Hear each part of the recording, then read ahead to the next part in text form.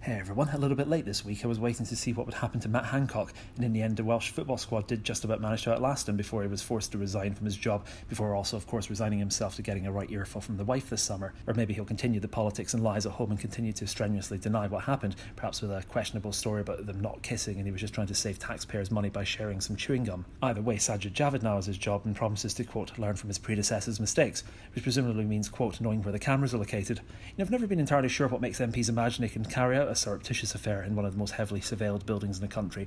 But either way, it seems evident that the health secretary, sorry, former health secretary, decided to research how the health service works by watching Carry On Matron, ooh, her misses. Certainly, that would explain the lack of competence and general ineptitude over the last year and a bit. You know, I think of it, a Carry On movie set in Downing Street would be really good if you had a time machine. Kenneth Williams looks a bit like Michael Gove. I'd imagine Carrie Johnson would be played by Babs Windsor, and I could see Hattie Jacques playing Emily Thornberry. Anyway, back in the real world, the only surprise was that somebody actually got sacked by Boris Johnson for cheating on their wife. Although I guess the empathy maybe explains why he was able to hang on for a few days longer than he would have been able to five years ago. Just be careful saying that the resignation was overdue, though. Some Labour activists might mishear you, think it was over due, and start posting anti Semitic conspiracy theories. You know, talking about conspiracy theories, the other story this week was the American report published by the Pentagon into UFOs. This was looking specifically at 144 reports made about the phenomena since 2004. And the general gist is that they're real, but they don't know what they are. In other words, the aircraft equivalent of one of those spiky vegetables they sell at my local Asian supermarket.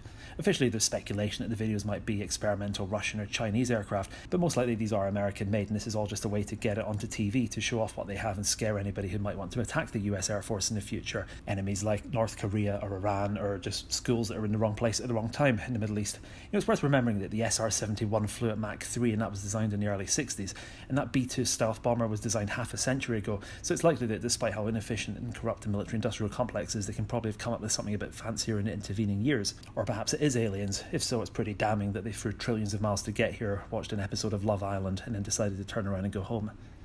Anyway, see you next week. If you like these, click subscribe.